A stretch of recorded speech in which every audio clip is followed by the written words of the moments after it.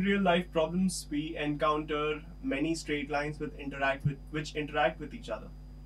For example, in the analysis of the computational fluid dynamic analysis of a Formula One car involves uh, drawing lines which represent the flow of air around the design of the car.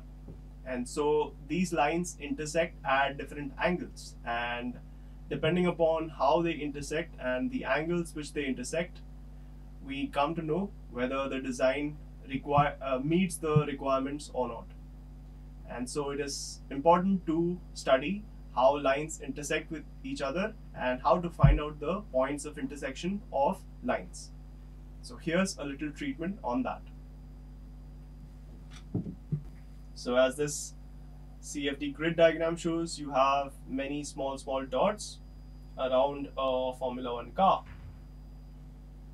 These are all basically straight lines intersecting each other. As you can see, you have straight lines coming over this way, which represent the flow of air around the car. And the lines will bend around the design of the car in such a way that it simulates the flow of air around this car so that maximum aerodynamic stability is obtained. Okay, so this is where it all starts. Suppose we have two lines a1x plus b1y plus c1 is equal to 0 and a2x plus b2y plus c2 is equal to 0.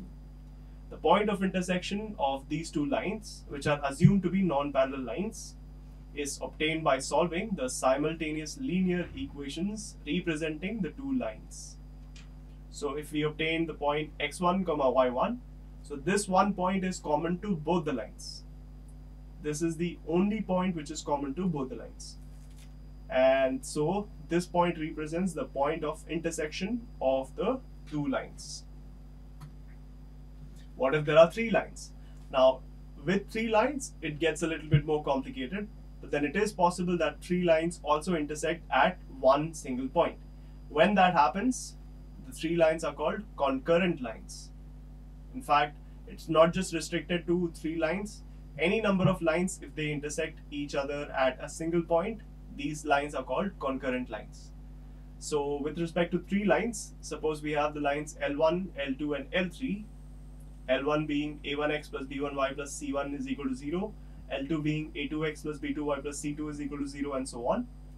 These are three straight lines and they intersect at a point if the following conditions are met the determinant formed by their coefficients that is a1 b1 c1 a2 b2 c2 and a3 b3 c3 equals 0 that is we get a